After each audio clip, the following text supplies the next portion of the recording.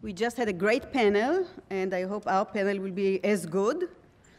Uh, I'm Pnina Lahav. I'm, the, uh, I'm on the faculty here at Boston University. I want to thank all of you very much for coming here on a Saturday morning, and uh, particularly thank Linda McLean, who did such a great job organizing uh, everyone here, and also to thank the organizing committee for uh, putting together this conference and our dean, who was so supportive. Uh, now, um, Linda asked me, uh, um, Linda told me that a chair may either comment on the papers or give her own paper. I decided to give my own paper. Uh, so I will, uh, we will do uh, the um, uh, speaking by the order that it appears on the program, and I will begin. let me just um, um, attend to logistics for a second. Um, we are going to each speak for 10 minutes and then we will have a discussion. Um, and the presenters will be myself, a professor of law here at the law school, Professor Mary Anne Case, who is on the faculty of the University of Chicago Law School, Professor Shahla Haeri, who is a professor of anthropology at the uh, Department of Anthropology here at Boston University, and is also a legal anthropologist, was the first director of the Women's Studies program at Boston University. We have uh, Fionnuala Ni Aolain.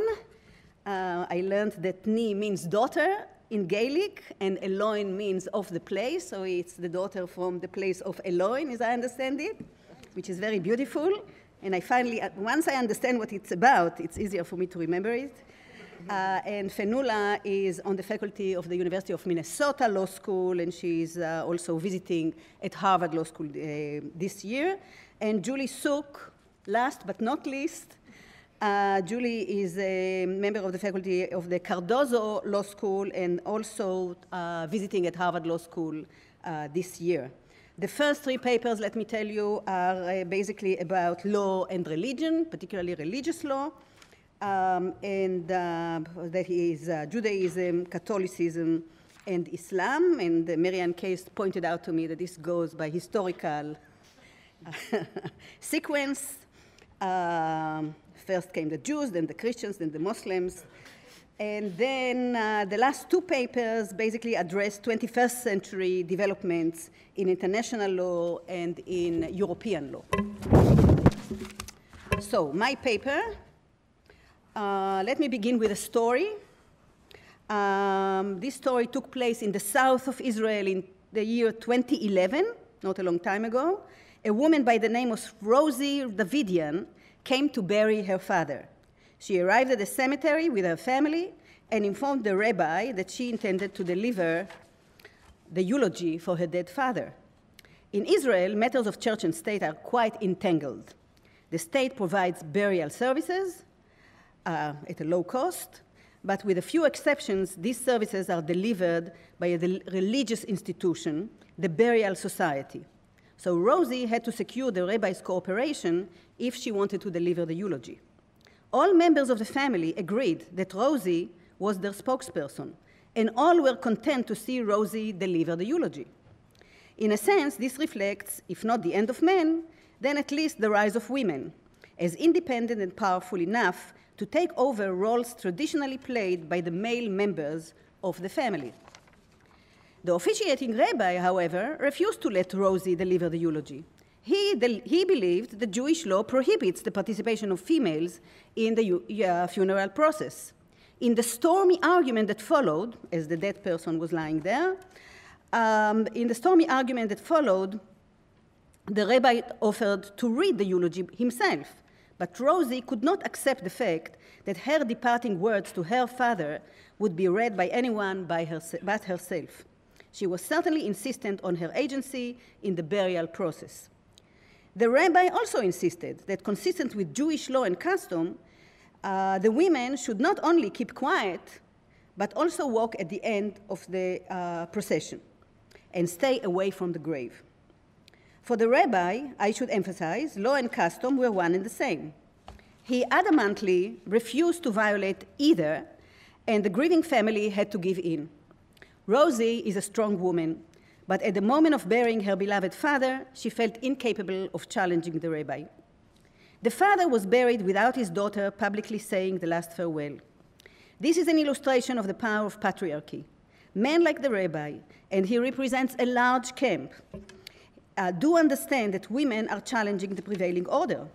And these men are willing to do anything to prevent this from happening. What this story illustrates is that the state of Israel, in the state of Israel, Orthodox men have great difficulty accepting the notion of gender equality. I shall return to this point momentarily. Meanwhile, secular men and women, as well as men and women who observe religion but reject orthodoxy, are engaged in finding words to enforce gender equality within the religious framework. This is not about ending men, but rather about ending the rule of orthodoxy, which does not recognize women as full citizens of their community. One of the social uh, uh, organizations active in improving the status of women in Israel in this area is IRAC, Israel Religious Action Center. IRAC is a social movement. It fights the spreading phenomena of gender segregation in buses and in other public places in Israel through education, protest, lobbying, and litigation. Note and this is important for the comparative argument, that IRAC is supported by the Reform Jewish movement in the United States, and that it is rather influenced by American feminism and by the civil rights movement. American Jews, men and women, feel that they have a stake in this matter and join the struggle. With the help of IRAC, Rosie filed a lawsuit in the small claims court in the town of Beersheba, Beersheba, as you probably uh, recognize. She was one of, the, uh, of many grassroots plaintiffs who sue institutions and persons who discriminate against women. In other words, in 2012, we witnessed a mighty struggle. The Orthodox wish to enforce patriarchy in the name of loyalty to Jewish law. In response to the call for gender equality, they invent, invent more and more programs rooted in traditional Jewish law that segregate women. Against them stand the progressive camp. Rosie's argument in her lawsuit was that the rabbi's action was in violation of the Israeli public accommodations law. Rosie won her case. The Burial Society was ordered to pay her a modest compensation for the aggravation that she suffered. All over Israel today, more and more such uh, secular women insist that they are entitled to partake in the funeral service, and more and more rabbis are willing to interpret Jewish law as permitting a limited measure of female participation in the last stage of a person's life. But I do not see that as a, as, that as a single signal of the end of men. To the contrary, the more women insist on equality, the more some in the Orthodox community, men and women, feel threatened and violated, and therefore insist on ever more segregationist, practices that will remove women from the public sphere.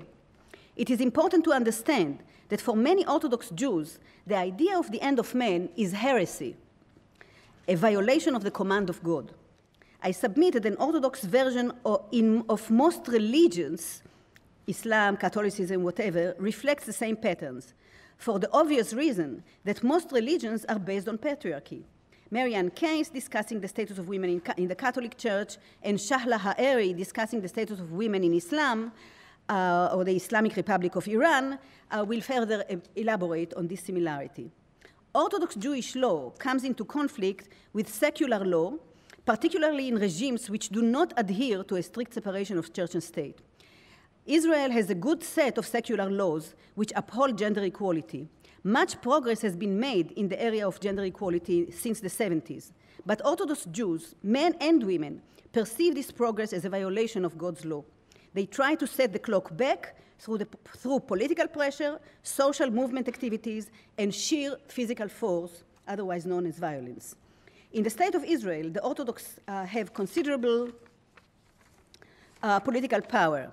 Hence, it could be expected that, at the end of the day, they will make mild gains that may be reflected in secular law. In my paper, I show how this matter is related to diaspora Jewry, particularly to American Jews. In the American Orthodox Jewish community, we see a movement called JOFA, Jewish Orthodox Feminist Alliance. This movement develops a variety of projects demonstrating that Jewish law need not be interpreted as discriminatory against women it tries to bring changes from within the framework of Jewish law. JOFA encounters both sympathy and harsh opposition. Most American Jews are secular, and in the United States, the reform and conservative movements are quite strong. They have long accepted the equality of women. In the United States, it is rather easy to reject Orthodox effort to re restore gender-based segregation in the public sphere. Um, a, because American secular law stands by the progressive religious camp and above religious law in the public sphere. The pro-gender equality camp support grassroots civic organization in Israel fighting against the Orthodox campaign to promote gender-based segregation. The civic organizations, in turn, use the means historically developed in the United States to achieve gender equality in Israel, litigation, lobbying, and education to defend the notion of gender-based equality. When we examine all of these groups, we see both men and women working together, supporting, assisting, and encouraging women to insist that Jewish law need not be interpreted as discriminatory, but rather it can be interpreted as compatible with feminist notions of gender equality. This is an uphill battle because the Orthodox Jews reject the notion of the social construction of reality, believing that God's law, which they claim to speak for, is independent of history. They reject feminist theory as sheer arrogance this is a religious term, against the will of God. I could also add that for the Orthodox, the specter of women going out to work is neither new nor threatening. They encourage women to work so that their husbands can pursue the supreme life activity, learning. Thus, a finding that more women join the workforce, even that they do well in the workforce, is irrelevant. Men still decide the limits and contours of their activities. The notion of the end of men even in a slogan, is therefore counterproductive. In an orthodox world which denies the social construction of reality, it cannot be accepted and calls, calls for a counter revolution aimed at defending God. Going back to Rosie and to IRAC, they defended her. The end of man is not what they mean to achieve either. Rather, they want equal protection under the secular law, which will go hand in hand with the restoration of the biblical notion shared by all Western religions that God created both male and female as equal in his or her image. Thank you. so I can now call on Professor Mary Anne Case, and you can choose what you want to do. I am going to speak from here because I'm not going to use PowerPoint, but I've got a series of old fashioned visuals aids that I'm going to hold up and point to as the time comes. And um, Pnina said that I was going to be talking about uh, religious law. I want to be clear. I understand, you know, because I did not present a paper to her in advance, but only my project. I'm not at all going to be talking uh, about religious law. I'm going to be talking about religious attempts to influence secular law.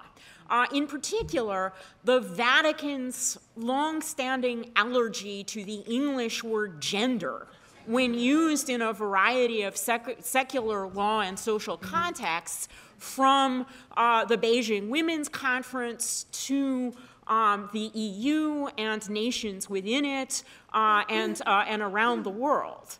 Uh, and this is a, a, small part, when I'm presenting here, of a much larger project. My first visual aid is uh, a small piece of this has already been published in the Pace Law Review uh, under the title After Gender, the Destruction of Man, the Vatican's Nightmare Vision of the Gender Agenda for Law. So given that this article was well in process when Linda first contacted me about participating in this conference, you will understand that with all due respect to Hanna Rosin, I did not understand at all that this, the End of Men conference was about a, a, a particular book and project. Uh, the title of my paper uh, is uh, Does the End of Men uh, so, the, not, the, the, claim about evaluating uh, claims about the end of men, the claim I'm considering is, does the end of men mean the end of man? Uh, and the Pope says, yes, it does, and I'll get to that uh, in a moment. And I see myself as part of this much bigger project, you know, eventually a book length project, uh, to be following in the Linda McLean uh, tradition of uh, opposition research, if you want to call it, in this uh, election season, getting really deeply uh, involved in the arguments that people who normatively have exactly the opposite position from me uh, are engaged in. But one of the things I find fascinating is that although normatively the Pope and I, like Scalia and I, do not agree on much, descriptively we connect the dots in the same way. The only difference is their dreams are my nightmares and vice versa, but we see the same things when we close our eyes. So what I see is connections between uh, you know, all of the new secular law changes around the world in sex, gender, sexuality, and the family, and so does the Pope. I will get to that in a, in a moment. And the people on my side tend to uh, be in what uh, Ali Miller has taught me to call silos, right? There's the uh, sexual orientation and gender identity silo, there's the reproductive rights silo, there's the women's rights silo, and so on down the line. So I said I'm not going to be talking uh, about religious law at all. Part of the reason for that is that a, an, another large part of my project is to demonstrate that what the Vatican is now saying, its and therefore the natural, human, and correct view of gender relations is, um, is new to the Catholic Church. I was brought up Catholic in single sex schools in part. And um, that's what made me a sameness feminist. Uh, I've written about this. So I am, my, my audio, my visual here is, yeah, this is from the Sistine ceiling in, as it happens, the Vatican. It's the creation of man, Adam, to go to the Hebrew. So is it the creation of man or is it the creation of the male, right? So, so two ways of reading this shirt on me. One is that um, what's depicted and what's inside is the same, right? I am embodying, you know, his breast is over my breast, or I'm Eve still inside, waiting to come out. Okay?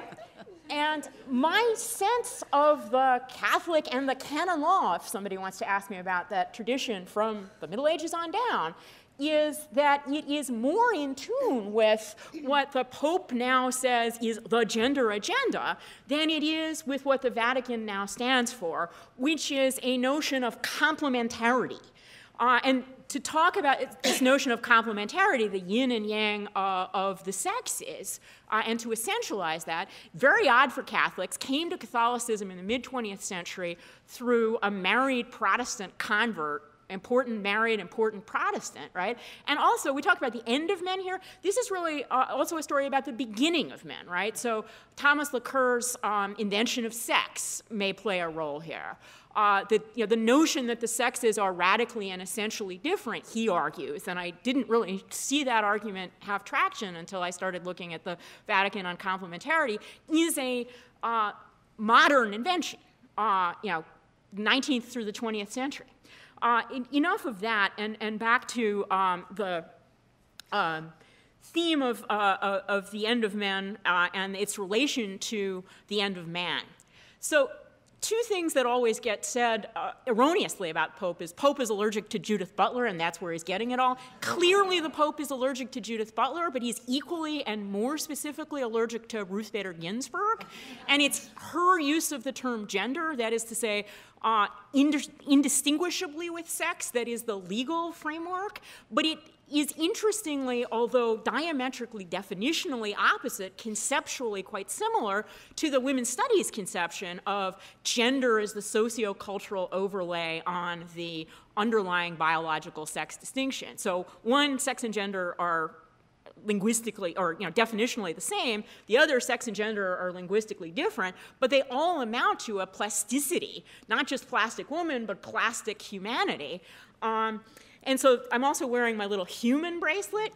Um, and the skulls that the Pope thinks will follow, the death. Uh, he, I mean, I, I, in, in, the, in the Hofstra paper, I, uh, compare, I said that the Pope reminded me of nothing so much as the Charlton Heston character in Planet of the Apes, saying, You maniacs, you blew it all up, God damn you, God damn you all to hell.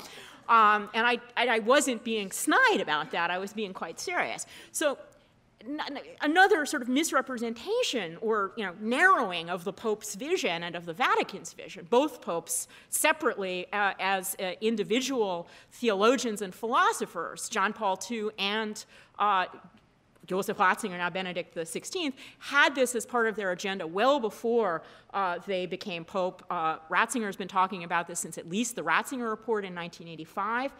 Um, and he gave a speech to uh, a Christmas speech to the Roman Curia a couple of years ago, for which the uh, headlines in the English press were "Pope says heterosexuality endangered like the rainforest." Well, it, and, and made it all about, you know, Pope's opposed to gays and trans people. He is, clearly, but um, also opposed to feminists. And he's, you know, uh, talks about this. So let me read you from, from these remarks what I mean when I say, you know, does the end of man lead to the end of man? Um, he, he has long had this view of human ecology, right? That there is a human ecology just like there is a natural ecology of other flora and fauna. And he says, we have a responsibility towards creation and must publicly assert this responsibility. Uh, not only defend earth, water, and air as gifts of creation belonging to all, must also protect man from self destruction. Um, and he was speaking in Italian, and in Italian, there's no distinction uh, between uh, uomo is the word both for male and for human being. Uh, he was not speaking in his native German, where there is a distinction between the two words, Mensch and Mann, and we'll get to that later because I'm going to come to Germany if I don't run out of time. Um, so, what is needed is something like a human ecology correctly understood. If this church speaks of the nature of the human being as man and woman and demands that this order of creation be respected, this is not some antiquated metaphysics. What is involved here is faith in the Creator and readiness to listen to the language of creation. To disregard this would be the self destruction of man himself. Uh, and what is often understood by the term gender, and the term gender appears in English in the original Italian speech ultimately ends up being man's attempt at self emancipation from creation and the creator. Man wants to be his own master and alone, always and exclusively to determine everything that concerns him, yet in this way he lives in opposition to the truth. Rainforests deserve indeed to be protected, but no less so does man, a creature having an innate message which does not contradict our freedom, but is instead its very uh, uh, premise. So earlier he talks about how feminism is what gave people the idea that they could be anything they wanted to be, and that this has a certain intrinsic appeal at first glance, but when you think about it, really serious dangers. And he is presenting in this uh, way as what he calls, uh, as a re- representative of the church, as what he calls an expert in humanity. Okay, so let me, uh, in the uh, few minutes I have left, talk a little bit about how this plays itself out in two countries in uh, Europe in which I do comparative law work, uh, France and Germany. We'll hear from Julie Suk about uh, some of the French work with parité, which the Pope is all for because, um, or not the Pope, the, the, the Vatican messengers are for because it uh, speaks to this notion of complementarity. But a whole lot of the rest of the simultaneous changes in French law, for example, the institution of the PACS, the Pact for uh, Civil Solidarity, uh, in any reform of family law, and even the inclusion, and this was something that about 80 deputies of Sarkozy's party under Catholic influence uh, demanded the immediate withdrawal of all newly issued middle school biology textbooks uh, last year because they contained reference to the notion that uh, masculinity and femininity were in part social constructions. Uh, that is to say, to the evil gender theory and the evil gender agenda. Um, and for people who do comparative law, um, note that this, because in the United States we've developed a constitutional law that takes this off the table as an argument in uh, secular law, uh, American critics of uh, things like same sex marriage don't tend to use these uh, arguments. And French critics, both from within the Catholic Church, like my personal favorite, the Lacanian psychoanalyst priest Tony Anatrella, who uh, immediately came out with a pocket version of a uh, 900 page uh, previously issued uh, book on contested terms concerning the family uh, that the Vatican had produced to back up these 80 deputies who said we should withdraw the, the textbooks, and also goes around the world to Africa, uh, to South America, talking up against the use of the term gender and talking up the instantiation of complementarity in secular law. Note the new Tunisian constitution now suggests that uh, woman is complementary to men. Uh, this has uh, created a big brouhaha among um, Tunisian uh, feminists who, know, anyway. Um, so there are lots of objections in, um, let me hold up my show and tell. Uh, we've got Menschinen, the German word for human being, followed by a female modifier, and you see a, um, a, a woman in a skirt and high heels doing road work, construction work. The author of this book is uh, the Austrian candidate from Jörg Haider's party for president. Uh, I don't want to cast uh, aspersions. Um, I don't. Um, but a whole lot of other people are objecting under, through, through the perfectly reasonable term gender mainstreaming as indicative of this terrible uh, agenda. But then on the other side, we've got um, reason to think that the Germans are questioning, like the French, the notion uh, of the differences between the sexes. Now, the French, uh, even who, those who do not identify as Catholics, uh, are seriously contemplate the notion that the Vatican promotes, which is that if we removed all gender distinctions from the law, then kids would grow up psychotic because sex distinctions are what enables human reasoning. Um, in Germany, we've got, however, anxieties about masculinity, uh, and the Green Party's promotion of a new man under the heading, we want a new man, we don't want to have to be machos any longer, uh, you know, we are not uh, born men, but we are made into men, you know, quoting Simone de Beauvoir. And uh, I'll end with, without even translating, um, Germany, German is a language with many fewer words than English. There are literally dozens of words in German to describe various aspects of this new man, mostly critical words, not friendly words, but some of them. So Frauenversteher, Warmduscher, Abspüler, Leihvater, Weichei, Sitzpinkler, Rosinenmann, Schmerzenmann, uh, unsicherer Mann, unbestimmter Mann, formbarer Mann. I could go on, but I won't because I'm out of time.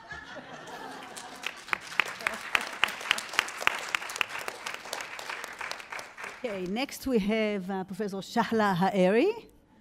Shahla, you want to go stand Um, there? I, either one. Which one is more comfortable? You want. Um, it's your choice. I think I'll just sit there. Your here. choice. I'm a bit, yeah. Um, I think maybe I'll just sit over here, and uh, it's hard to follow that wonderful uh, presentations. And thank you, um, Pnina, and thank you, Professor Linda McLean, for organizing such wonderful conference. And I'm really sure very pleased to be part of it. Um, and it's really nice to have after Judaism and Christianity and Islam, you know, like um, we're just right all there. Um, I call my paper No End Inside Paradox, Politics, and Gender Policies in Iran.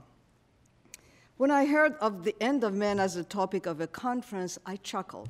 What end of man, I thought, reflecting intuitively back on Iran where I was born.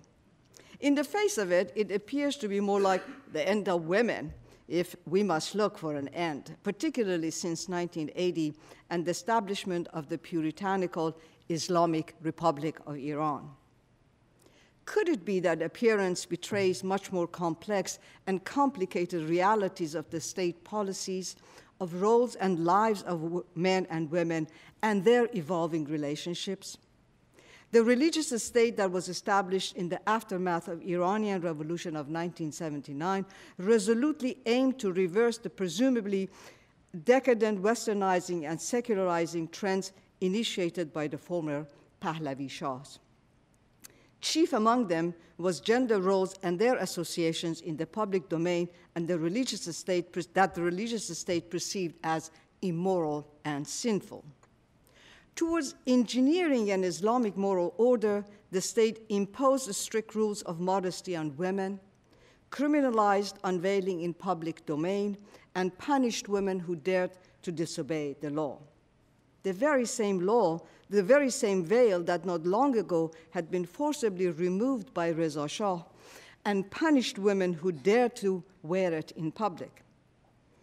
Simultaneously, the regime sought to reframe the culturally stigmatized and traditionally marginalized temporary marriage, billing it now as a brilliant law of Islam, that is Shia Islam, the often private and verbal contract of temporary marriage that could be as short as one day to as long as 99 years, was argued to be a legal way to satisfy sexual desires and so a moral substitute for the sinful Western style free relationship between the sexes.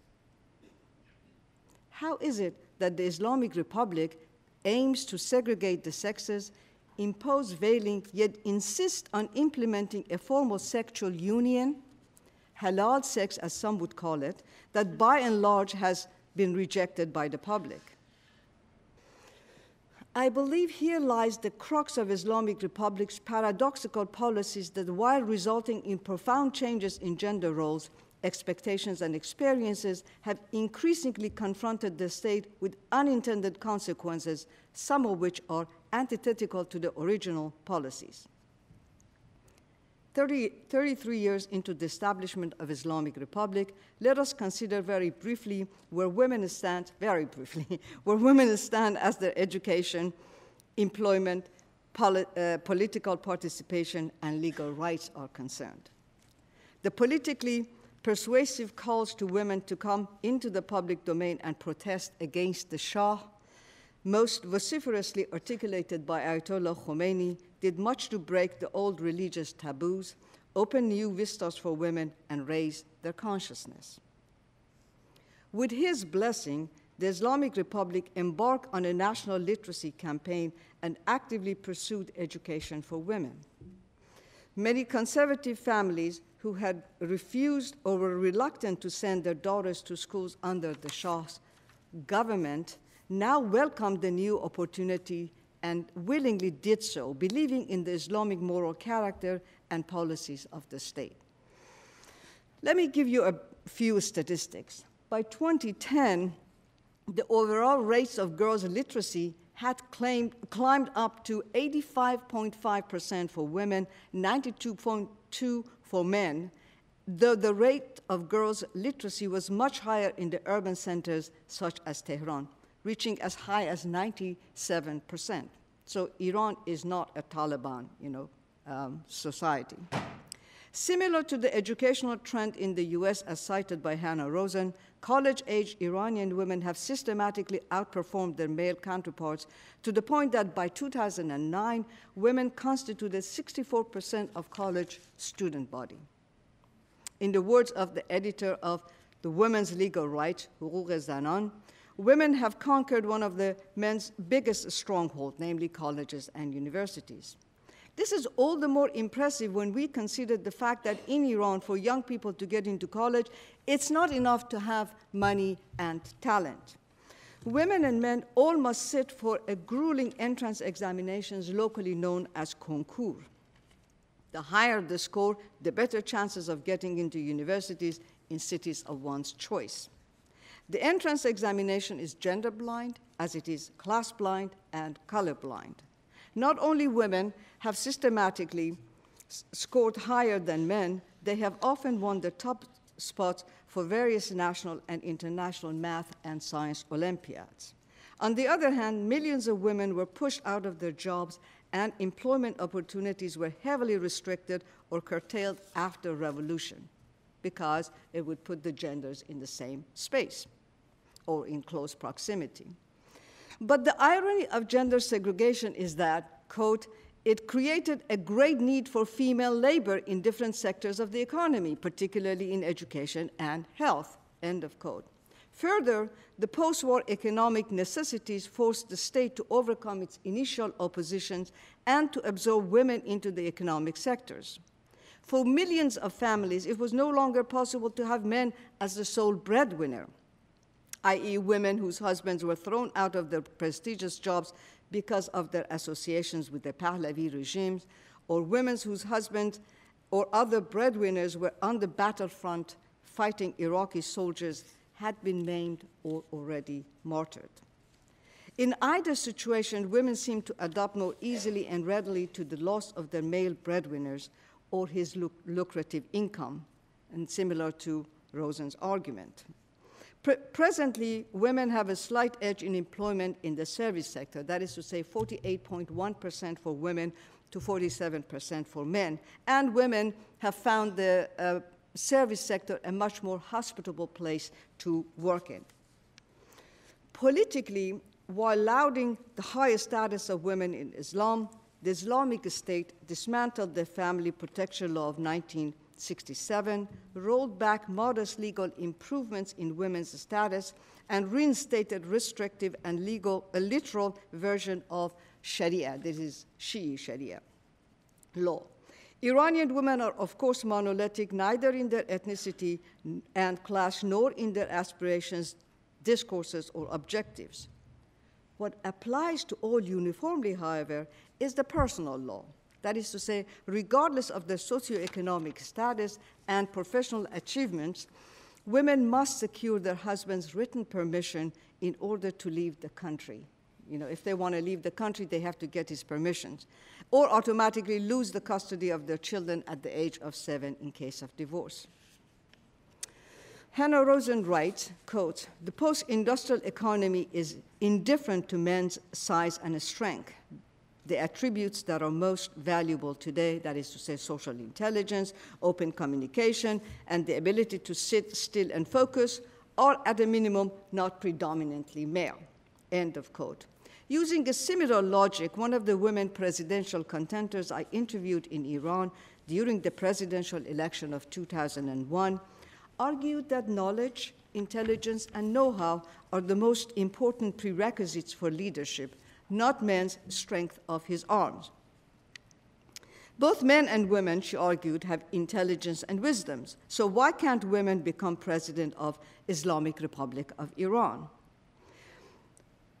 But this woman, along with 47 other women who had nominated themselves for the office of presidency in 2001, was ultimately unable to break the glass ceiling and occupy the office of the President of Islamic Republic. They were all disqualified by the Guardian Council, that is, exclusively male institutions.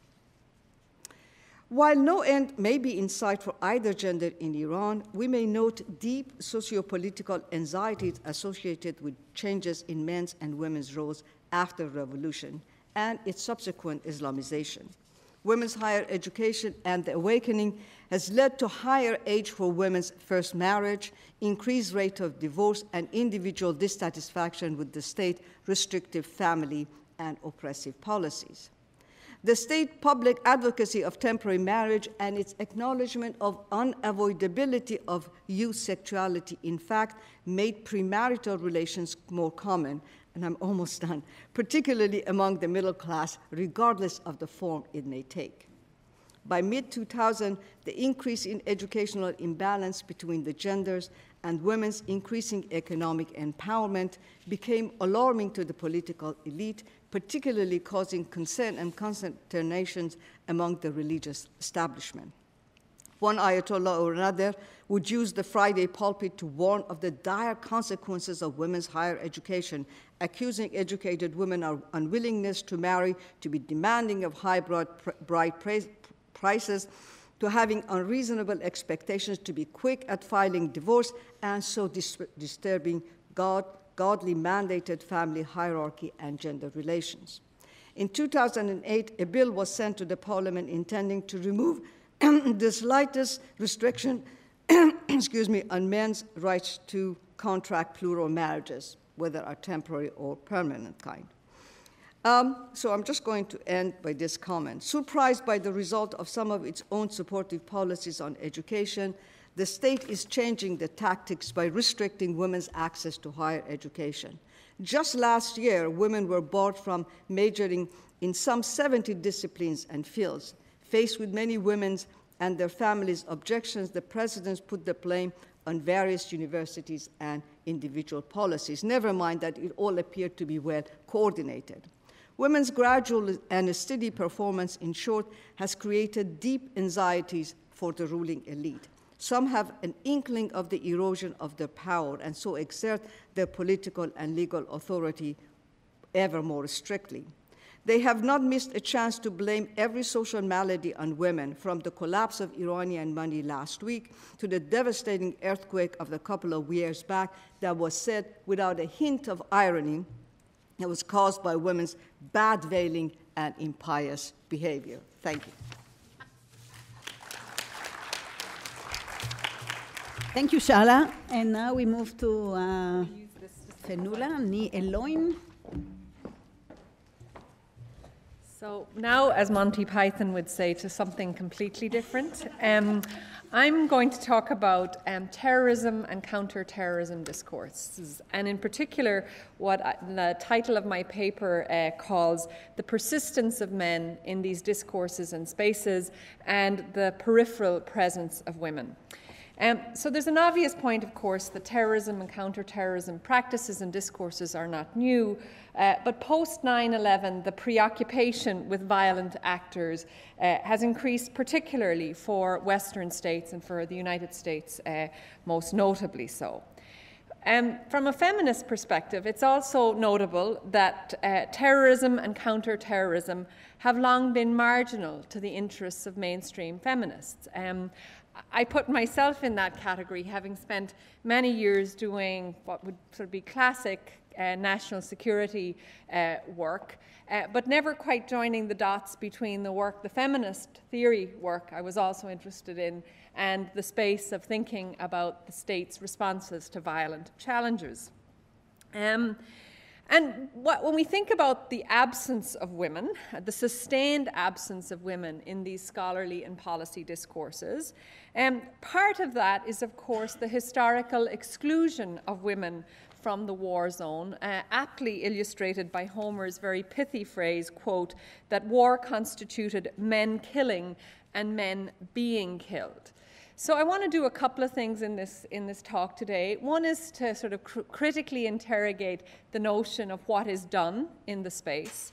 Um, the second is to think about and to challenge the dominant discourses of national security and their exclusion of women, and to think about the way in which women can be made luminal or present in those spaces, but to suggest that when we make them present, when we, quote, really see the work that women both do as violent actors and the state's capacity to regulate the lives of women who find themselves in violent spaces. That is not a simple equation to quote the end of men, meaning that making women luminal is not to prove the phrase that, in fact, that what they do in those spaces uh, constitutes some fundamental reordering of gender relationships. Um, so it's very clear. Um, take any security discourse, whether it's the, um, the, the, the, the, discourse of executive orders, the discourse of terrorism in general, but torture or rendition specifically, or the passage of legislation, most or many of those security discourses are about in, in, in reinscribing what are essentially gendered assumptions about the role of men and women in relation to violence. Um, in part of what drives that, I'm going to suggest, is the absence or presence of women as both violent actors and as victims of violence. And I want to talk a little bit about women as violent actors. And so, um, when we imagine the terrorist actor, that actor is largely and uh, overwhelmingly male.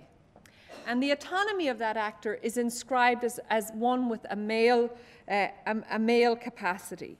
The terrorist actor is also obviously othered. In the United States, um, we think pri- primarily of the terrorist actor as the Arab other uh, post 9 11.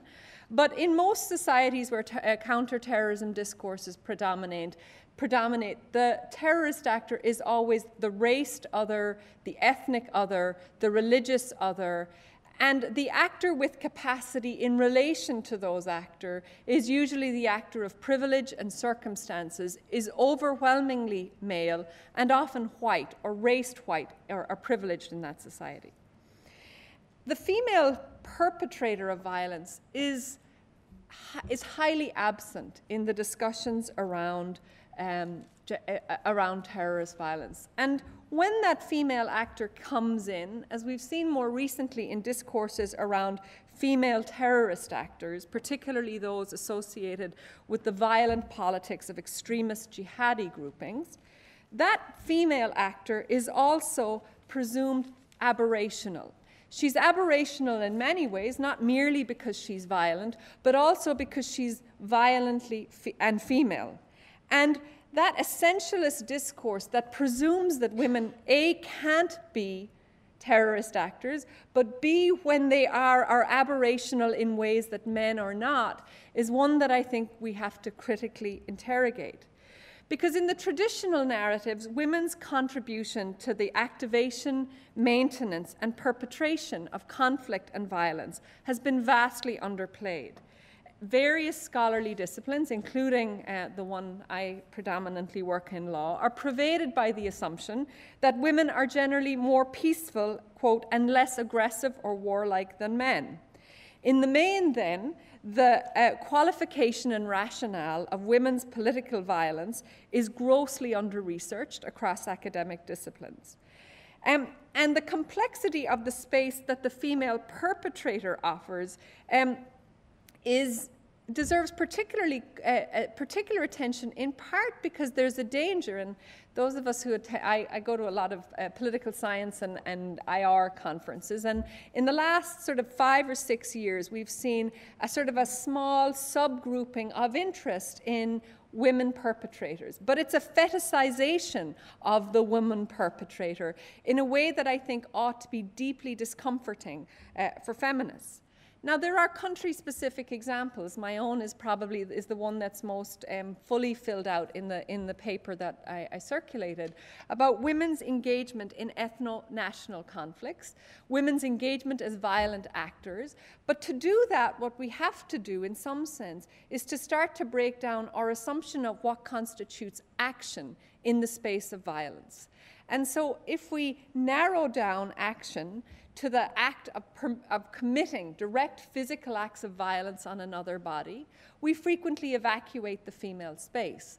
What we don't see when we do that is the role of women as collaborators, informers, human shields, recruiters, providers of sexual bait, perpetrators of acts of destruction by means of support. They're the ones who wash the bloody clothes when people come home. They're the ones in Belfast who hid guns under uh, floorboards, uh, and prams actually were a particularly, um, you, women would walk prams with guns uh, to places where the presumed, uh, uh, their presumed essential femin- femininity prevented the state from, quote, seeing them as violent actors. And so there's a couple of, I think, funny things that come out of those observations of both taking apart what constitutes an act of violence or an act of support to violence, which might allow us to see in much more complex ways the range of activities that women do in contributing to violent politics. But it also can have odd effects. And the odd effect is that in the counterterrorism discourses, which primarily challenge men in public spaces about their presumed political and violent acts, in spaces like Northern Ireland, for example, young Catholic men were the primary target. Uh, in Israel Palestine, young Arab men will be the primary target. Uh, so pick your conflict and pick your minority group, and, and, and then you define the men who are most likely to be the subject of attention for counter-terrorism strategies in a, in a position where you make women luminal or presence and you, present and you start to expand the category of acts and activities that constitute violent action against the state, you make them present, but you also make them the targets in a far more obvious way of state, state practices around, um, around counterterrorism. And that is complicated for a number of other reasons, and I want to briefly pause to talk about why that's complicated. One is that because post 9 11, uh, conversations around terrorism have been extraordinarily essentialist. And the capacity to interrogate intellectually or in policy terms the overusage of the term terrorism puts you almost immediately in the category of apologist for violent acts. And most scholars and policymakers find themselves uncomfortable in holding that space. As a result, we have these extraordinarily broad usage, both in terms of legislation and the definition of terrorism, of what constitutes a terrorist act.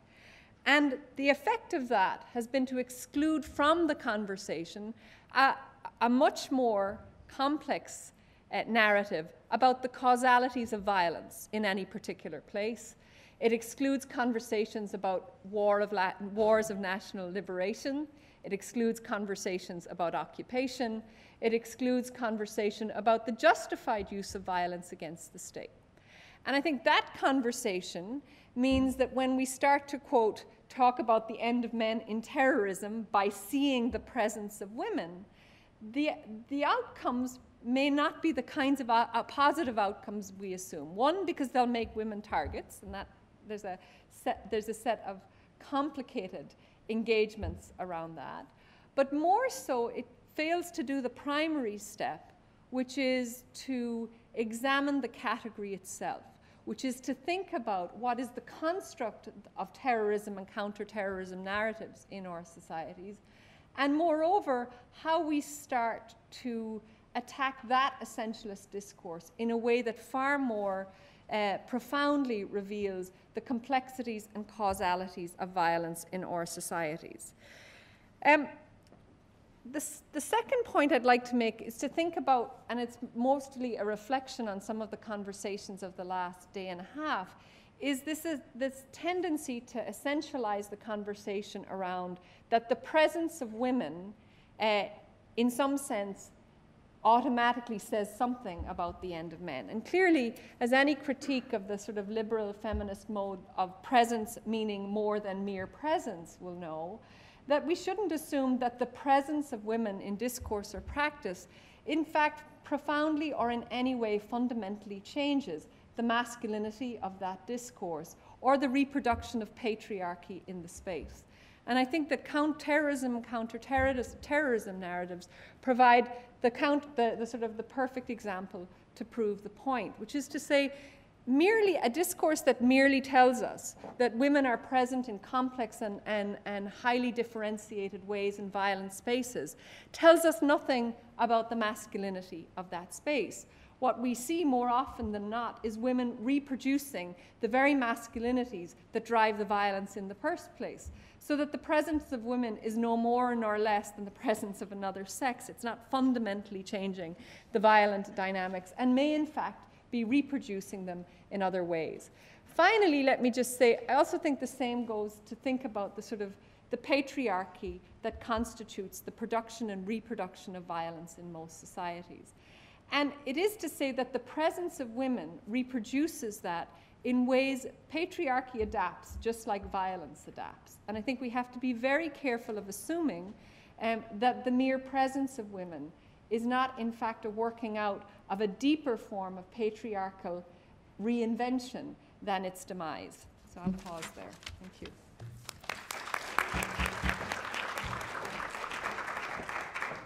So patriarchy is much more uh, plastic than one would. Uh, tend to think initially. So now we are moving to uh, Professor Julie Suk, uh, presently at Harvard Law School. Julie, what do you prefer? So I'll talk from here. Okay.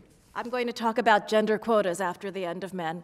And um, I hope uh, Hanna Rosin is pleased that my paper uh, begins by assuming that everything she says about the end of men is correct, that the thesis is correct, that the end of male dominance and fe- female subordination has in fact come. Uh, but perhaps she'll be disappointed uh, to learn that I'm largely doing so as a law professor's hypothetical. Um, but I think it's an extremely useful one.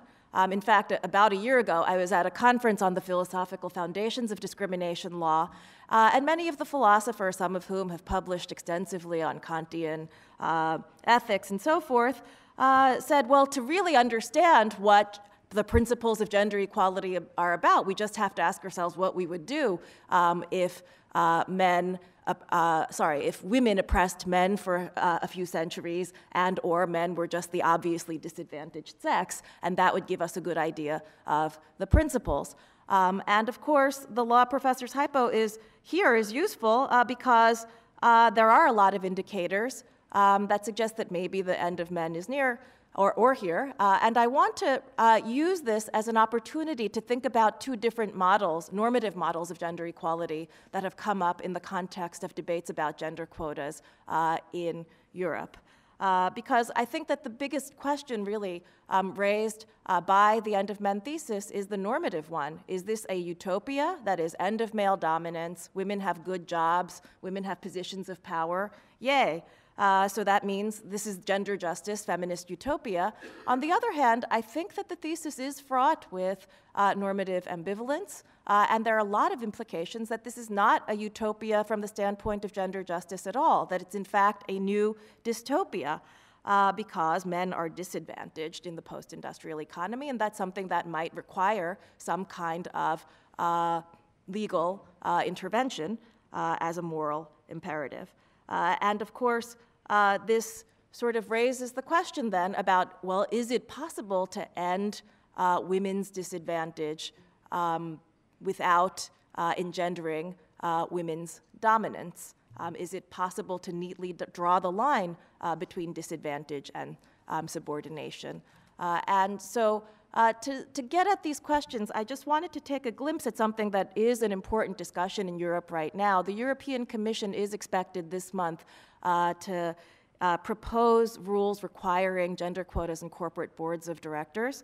Um, they would most likely be following the formulation that you see in various European countries that have adopted uh, similar corporate board gender quotas, which is to say a rule um, that says that on the boards of directors of public companies or publicly traded companies, uh, what, one sex cannot exceed 60% of the directorships.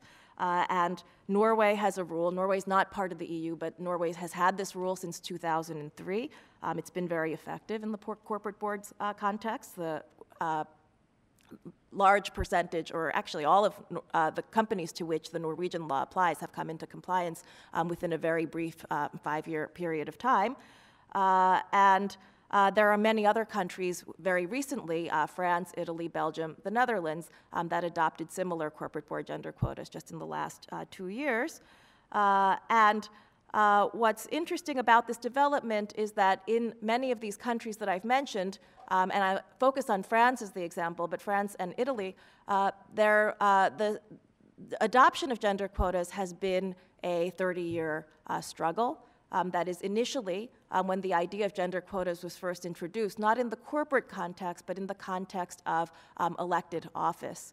Uh, they were struck down uh, by the constitutional courts of these countries as incompatible with uh, constitutional equal protection clauses, or in France in particular, it wasn't just um, an equality guarantee, uh, but constitutional uh, provisions declaring that um, sovereignty is indivisible and the electorate cannot be uh, divided. Uh, and so initially, uh, the whole idea of gender quotas, and specifically the one that was struck down in France in 1982, um, required 25% um, of the positions, or, or rather, uh, a rule that said you can't exceed 75% of one gender, which essentially, in practical terms, meant you had to have at least 25% women uh, on um, the list for certain municipal elections. And it was struck down because it was an impermissible violation of the indivisibility um, of the republic. Uh, and traditionally, the understanding of gender quotas in this context, and I would argue in the European context generally, if you look at um, in the employment uh, cases uh, of the European Court of Justice, uh, gender quotas are justified as positive action measures um, designed to uh, offset the disadvantage of women. Uh, and they have to be narrowly tailored in some of the same ways that affirmative action programs have to be narrowly tailored in the United States. Uh, but the point here is that they've always been understood as a way of um, eradicating women's disadvantage or helping a disadvantaged group. but uh, and certainly part of the reason the Constitutional Council in France struck, out, struck down the initial 25% quota was that it was divisive because women were seen as a kind of special interest group that, needed, that had certain disadvantages uh, and um, were being helped by the law. And that seemed to go against this idea of the universality and indivisibility of the Republic. Uh, and the new uh, discourse that emerged in France and ultimately was very successful in precipitating constitutional amendments that eventually led to the adoption of an electoral parity law, uh, and then more constitutional amendments that allowed the adoption of the corporate board gender parity law more recently. Uh, the new discourse really tried to shift from depicting women as a disadvantaged group towards depicting women as half of humanity. Uh, and so a very important shift was that the new gender quotas that emerged in the 90s were not 25% quotas, but pretty much 50 50 quotas. I mean, they're technically framed as 40 60 quotas now, and that's just to leave a tiny bit of wiggle room for odd numbers uh, and things of that sort. Uh, but really, these are gender parity rather than gender quotas. Uh, even though they are quotas. Um, but the idea of parity is um, it's no longer divisive because uh, the, the, republic remains universal. Um, the republic has to represent everyone in order to be democratically legitimate. Um, it cannot exclude half of humanity. Uh, and there's a fundamental assertion uh, that um, all people are gendered, and they've always been gendered, and there are only two genders. Uh, and in fact, gender is not even the right word. Um, there are men and there are women. Uh, and indeed, the constitutional amendments that pave the way for parity say nothing about gender. They say equal access by men and women. And certainly, gender equality is talked about very often in the European context, not so much as gender equality, but equality between men and women. Uh, and so, this new discourse um, is really the idea that the democratic state can't be legitimate unless both halves of humanity are equally represented. And so, it's and there are important ways, which I won't go into in the interest of time, there are important ways in which it converges with an anti subordination, alleviate women's disadvantage narrative, but there are important ways in which it's a totally new discourse. That is, it's assumed that if you were to exceed 60%, that is, if women were to be 70% of the electorate or corporate boards, that would be as offensive or as problematic from the standpoint of this idea of two gendered halves complementing each other um, as uh, a situation in which men are overrepresented. Uh, so that's the, and, and I think that this, what I'll call the French and possibly continental European model is one, is a discourse that has become very, very powerful um, and has uh, become appealing to a broad range of political actors, not just the socialists who started talk about parity, but to some right-wing parties as well. Uh, that, but the idea of women being half of humanity and gender parity being a permanent feature of any legitimate institution um, has become a very powerful one that has motored uh, the whole gender parity movement. Uh, and um, this can be contrasted, though, with some uh, other developments that are going on in the Swedish context. That is, in Sweden, um, over the last uh, 10 years, there have been uh, gender quotas used at the university level that were conceptualized as positive action measures to uh, combat the disadvantage of women. That is, there is a lot of gender segregation in the la- labor market, um, and some understanding uh, that women were not going into, say, scientific disciplines. So many universities just decided with their admissions to do half half, like women and men, uh, in their uh, admissions to their programs. Uh, and more very recently, though, these quotas have been challenged. And what's new about these challenges is they're not being challenged by, by men who are claiming to be disadvantaged by these programs, but they're being challenged by women uh, because Sweden is a context in which, um, because all the admissions are based on numbers rather than essays or interviews, um, it's pretty clear uh, what's been happening in terms of the numbers, women basically to get into some programs uh, need to have much higher grades and much higher scores uh, than men to get into those same programs. Um, and in the context of those uh, programs, uh, many uh, lawsuits were brought just in the last few years. Uh, and, um, and of course, the Swedish phenomenon of women outperforming men or girls outperforming boys in high schools and in college admissions tests is not unique to Sweden. There's data that suggests that throughout Europe, women are outper- outperforming men in terms of college admissions and even completion of um, university uh, degrees. Uh, but as a result of this litigation, there was legislation in Sweden um, in 2010 to repeal the provision of the higher education law that says uh, that the university should promote gender equality um, or that permits universities to engage in positive action measures of any sort. Um, it seems that there, it, at least in the higher education context, the, the new legislation only applies to higher education uh, and not to corporate boards. Uh, but, uh, but at least what's being promoted now is a formal uh, equality conception uh, that gets rid of gender quotas of any sort at the university level.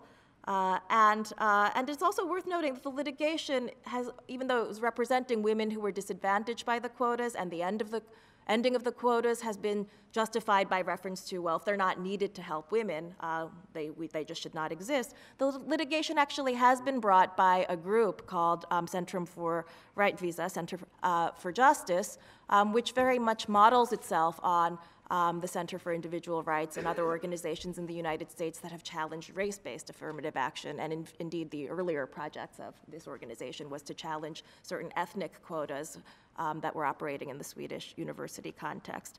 Uh, but in any case, I think the Swedish model provides a very interesting example of uh, the, un, a glimpse of the end of men future in which we suggest that there's really nothing wrong with gender imbalance or gender disparity as long as it's not the result of gender uh, subordination.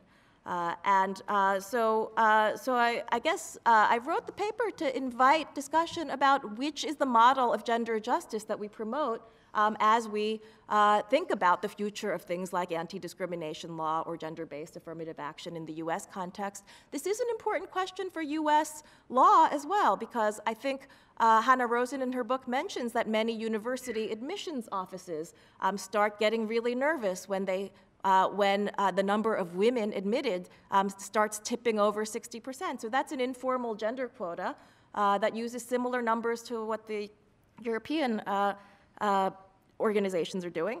Uh, and so, if there are these informal gender quotas operating at the university level, is that sex discrimination? Um, or is it the new gender equality, where gender balance is taken to be um, the best way of doing uh, gender equality? Uh, and one thing that I want to suggest, although I, I know we're out of time uh, for discussion, is I think if you're going to take the gender balance approach, there might be uh, a different way about it than the essentializing two gendered halves complementing each other way. Uh, and it's what I'm going to call the feminism of fear, borrowing from Judith Shklar's um, essay, The Liberalism of Fear.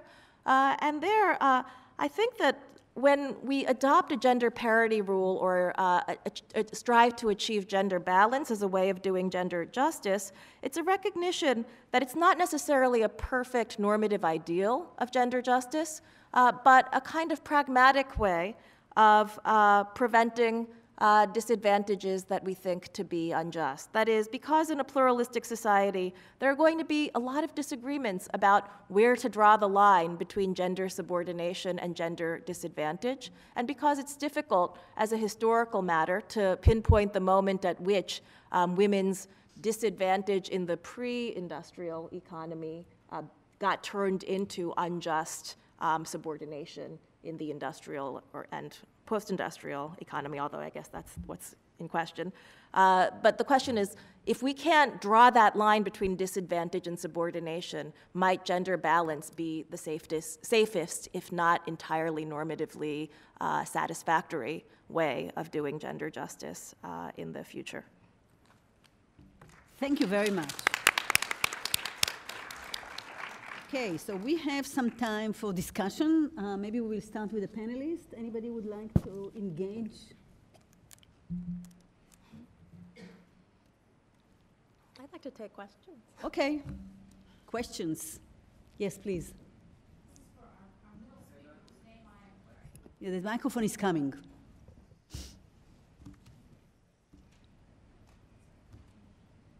This is for our middle speaker, whose name I'm afraid to try to pronounce.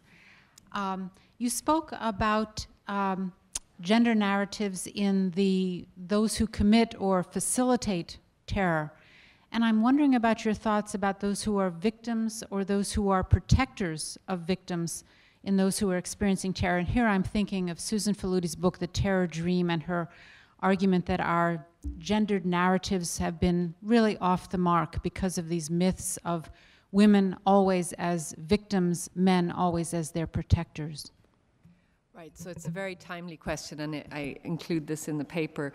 So clearly, one of the essentialized, essentialized discourses we get bo- both from conflict discourses, that is, discourses of war, as well as the terrorism discourses, are about who is the essential or idealized victim. Um, those di- victims in war are often perpetrated as uh, seen as female, uh, overwhelmingly refugee populations, women as victims of sexual violence, and so on and so forth. And I think what that also does is it evacuates conversation about male victimhood in conflict. Um, if we look statistically, the Uppsala uh, conflict database, for example, tracking deaths in armed conflict, of course, men are more likely to die than women. They may die as combatants, although increasingly in conflict situations, the line between combatant and non combatant is extremely blurry in, in law as well as in practice. So I think that's a very com- that there's an ob- there's a real obscuring of where the costs lie. There's also a really high cost to women as being the essentialized vic- victims of terrorism and or conflict and i see that most succinctly in the area of international criminal law and sexual ac- accountability for sexual crimes where the quintessential victim is the female victim of sexual violence which there are lots of good reasons why we should think about the woman as a sexual violence victim if she has been. But what that also obscures is the range of other harms that are inflicted on women as well as on men, primarily economic harms. A lack of access to water, food, shelter, displacement. So there's a real there's a real problem with both ends of the discourses, both the absence of seeing women as perpetrators, but also unpicking that victim group so that we understand more fully the gendered the gendered breakout of that group, which doesn't neatly fit into ca- categories and is counterproductive actually for women in many ways as being seen as primarily victim victims, removing them of both all agency as well as autonomy then in deciding what happens post conflict. So there's, there's a relationship between all those things. Thank you. Over there? Was there a question over there? We just need a microphone. I, ha- I have a question, it's really for the panel as a whole, about the role of hierarchy, not gender hierarchy but rather hierarchy in society. So if you see the rise of conservative religious groups, which we are seeing around the world, some of that is also an assertion of a more conservative, more culturally hierarchical set of claims. And on the issue of corporate boards, for example, um, there's certainly a whole criticism that uh, Joan Williams and I both referred to separately yesterday uh, of the dominance of groups that are basically out to make a billion dollars, literally. Um, and the question of whether a more egalitarian ethos in a corporate arena is also part of this. So, um, you know, some of what I was talking about yesterday on the end of men is the rise of elite men often works to the subordination of less powerful men as well as women. And so my question is in the international context, whether it's the issue of the importance of war or conflict, boys with toys, or whether it's an issue about the dominance of international corporations, or whether it is simply about what we call Wall Street greed. Is there something about the discussion we're having about hierarchy that is important to this discussion?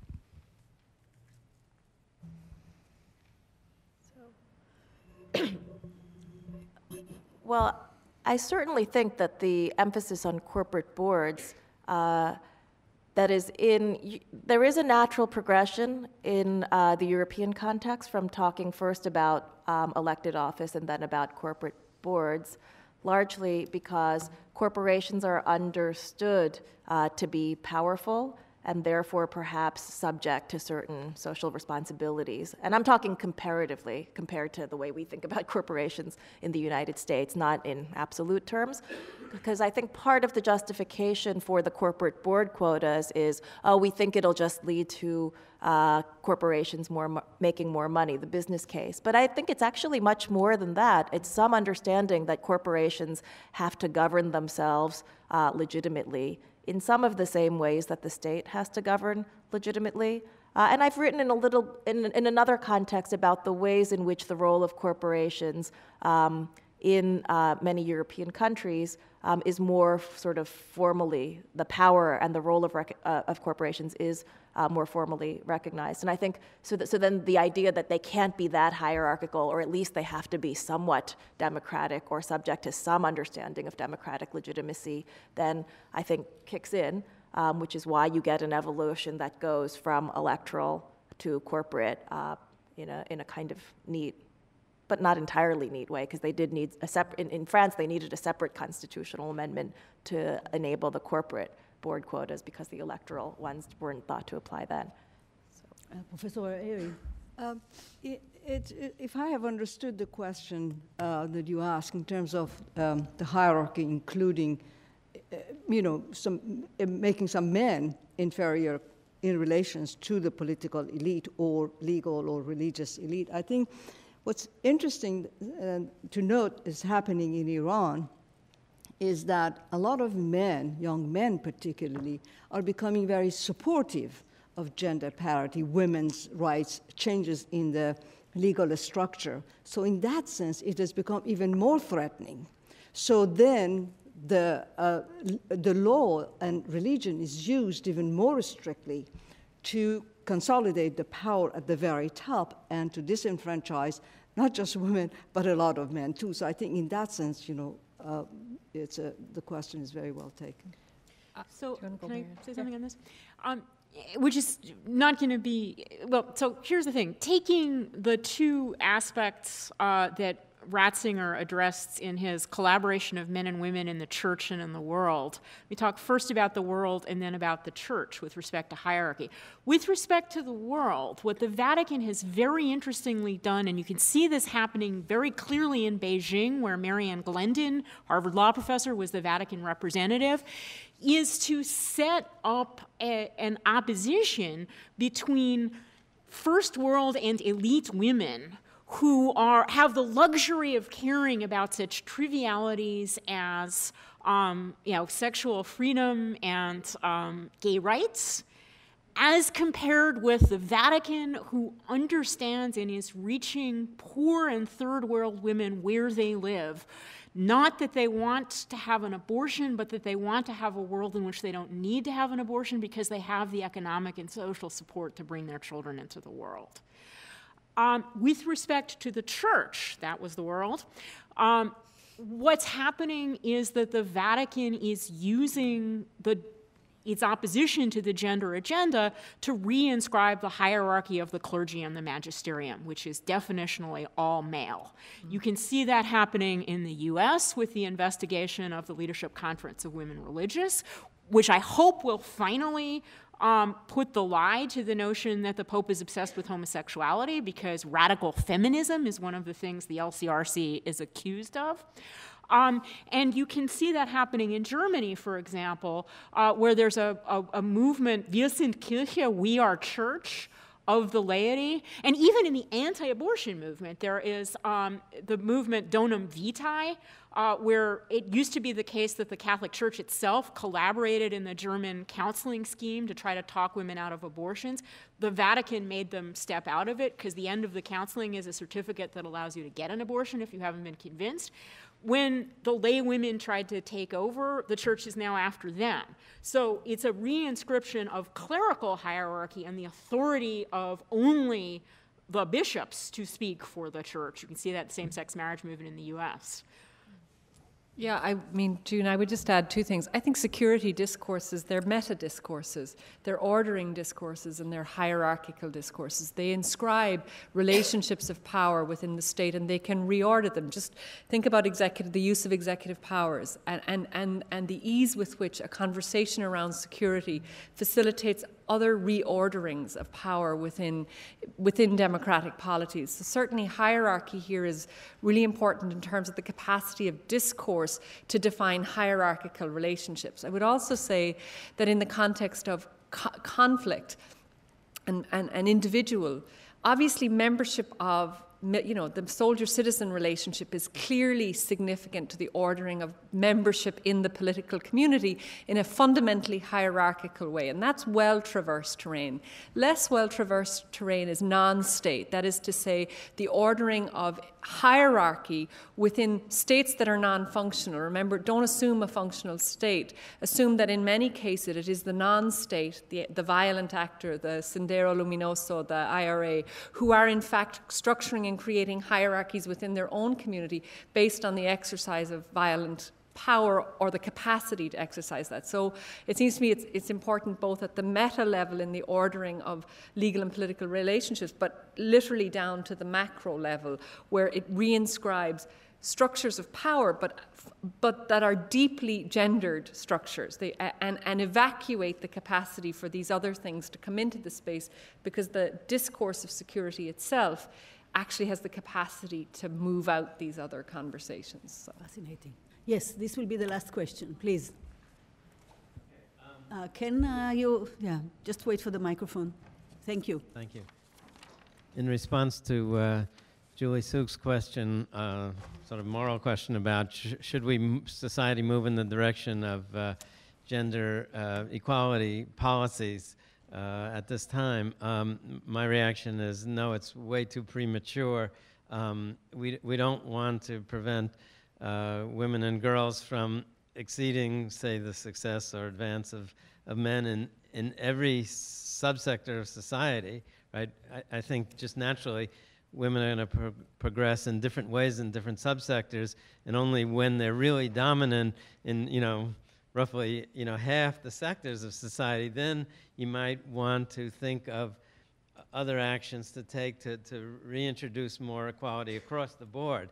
But if, if women are always bumping their heads up against 50% or even 60% right away, it's, it's, it's just not going to get to the point where even the, um, I think the discussion would become interesting in terms of, well, now women dominate these fields, men are still dominant in these fields, what do we do to, to get equity across the board? So I'd say, you know, maybe in 20 years we'll have this discussion. Thank you. Right. Did you want to respond to that? Yeah. Yes. So, uh, so yeah, I, I, agree with you. That that is um, part of what I'm arguing in the paper is that the divergence between what you might call parity democracy and anti-subordination, uh, that divergence has been masked for precisely the reasons you cite. That is, if never, nobody thinks the end of men is here, we don't need to talk about whether we like parity democracy or anti-subordination because they'll converge on the proposal that there should be positive discrimination in favor of women, right? Uh, maybe, but, um, but, but my question is really, but if we have the conversation now, maybe we'll have a clearer sense of what principles are really at the heart of gender equality. Uh, and it does raise this question about, well, so what do we do in the areas where women are outperforming men, like college admissions? Is it actually, is the right thing to do from a gender equality perspective just to let these classes in co-ed schools be 80 or even 90% women? Or do we see that as a problem from our uh, normative ideal of gender equality. Uh, and I think, I mean, so, uh, so one answer is I think in some contexts we are facing the question. I agree that societally we may not be facing it for a while, but I think that the way we present the gender equality agenda, imagining what the future could potentially look like if Hanna Rosin is right, is a very useful um, way of uh, elaborating what the uh, ideal of gender justice is. Thank you. So I think that we can proudly say that we added one more terrific panel to this terrific conference, and we will now adjourn for lunch. Thank you.